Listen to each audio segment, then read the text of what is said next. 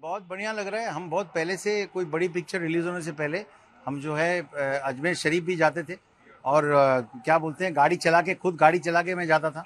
मुझे जो है हम अभी आप आप जाके मेरे फेसबुक में देख लीजिए।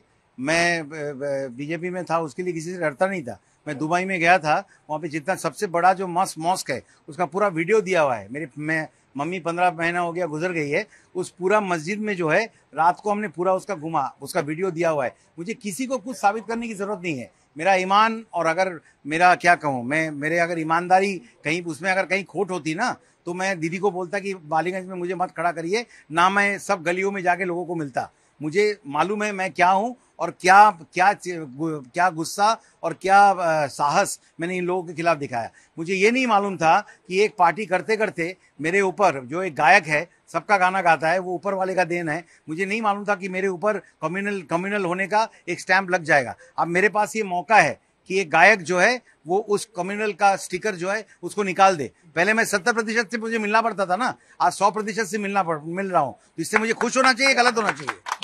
खुश होना चाहिए या दुखी होना चाहिए? मिल रहा हूँ ना सबसे, सब जगह में। पहले यहाँ पे पहले पहले भी जहाँ पे अमेरिका में जाइए, मैं आपको रेस्टोरेंट का नाम बता देता हूँ।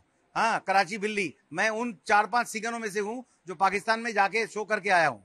और जब टू टू इंडिया का चल रहा था टू टू मैच ड्रॉ हुआ था गद्दाफी स्टेडियम में फिफ्थ मैच में इंडिया जीता था, सौरभ कैप्टन था, एक ही होटल में सब थे।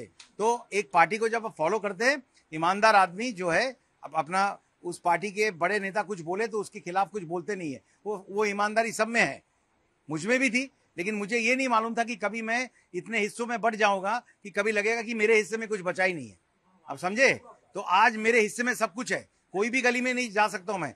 मुझे नहीं कहा जाएगा कि इस गली में कम्युनिटी हॉल मत बनाओ क्योंकि यहाँ पे तुम्हारा वोट नहीं है। और ये चीज़ मैंने आसनसोल में किया नहीं। वही मेरा रिपोर्ट कर रहा है उसलिए रेल पार में भी मैं जाता था और वहाँ से भी वोट माँगता था और मुझे मिलता भी था नहीं तो दो लाख वोट से दूसरी बार मैं नहीं जीत सकता था। ये याद रखिए। दादा लास्ट एक सवाल है आप आए हैं।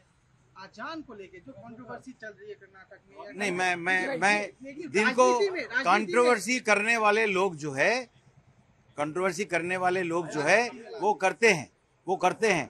हर चीज़ का जवाब देने की कोई ज़रूरत नहीं है। जो फजूल चीज़ है ना उसको उठा के फेंक दीजिए। जवाब मत दीजिए। जवाब देना अपना तोहिन करना होता है।